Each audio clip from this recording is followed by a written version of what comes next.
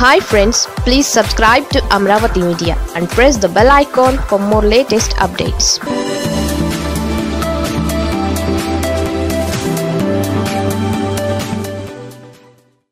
sir నాకు ఇంకో question అండి.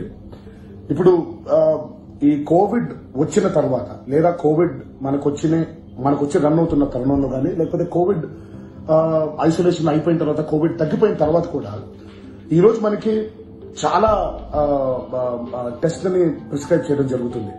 అందులో దాదాపు కొన్ని పేర్లు అయితే ఇప్పటిదాకా మనం వినుండం కూడా. సో ఇందులో అంటే పైగా ప్లస్ ఇలాంటి టెస్ట్ని కొంతమంది అఫోర్డ్ చేయలేకపోతున్నారు కూడా. సో ఈ టెస్ట్ ప్రోటోకాల్స్లో ముఖ్యంగా సిటీ టెస్ట్ నాకు తెలిసి అంటే నాకు తెలిసిన కొంతమంది వెంట వెంటనే అంటే మూడు రోజుల తర్వాత లేకపోతే మళ్ళీ వెంటనే నాలుగు రోజుల తర్వాత లేదా రెండు రోజుల తర్వాత ఈ సిటీ టెస్ట్ అనేది చేయించుకోవడం జరుగుతుంది.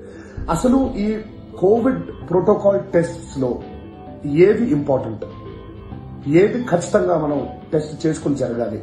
అనేది కొంచెం దాని గురించి కూడా కొంచెం క్లారిటీ ఉంటే బాగుంటుంది. సి కోవిడ్లో ముఖ్యంగా జరుగుతోంది మనకి ఆ, మూడు విషయాలుగా మనం చూసుకోవచ్చు. ఒకటి వైరీనియా అంటే వైరస్ ఎంత ఉందా లేదా? ఎంత వైరస్ ఉంది?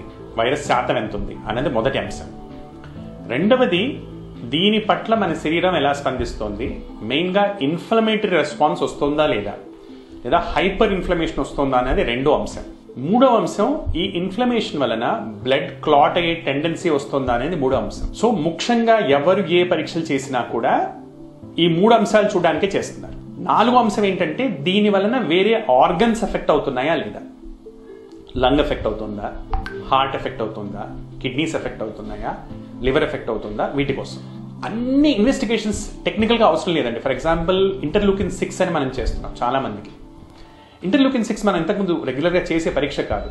అది ఓన్లీ ఒక స్టేజ్లో అంటే ఐదారు రోజులు దాటి వీక్నెస్ పెరుగుతుంటే అర్థం చేసుకోవడానికి మాత్రమే అది ఉపయోగపడుతుంది.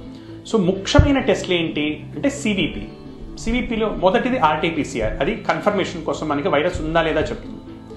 సిబిపిలో లింఫోసైట్ కౌంట్ అనేది మనకి వైరస్కి మన బాడీకి జరుగుతున్నటువంటి యుద్ధంలో ఏది అప్పర్ హ్యాండ్ వస్తుంది చెప్తుంది. సెల్ కౌంట్ అనేది.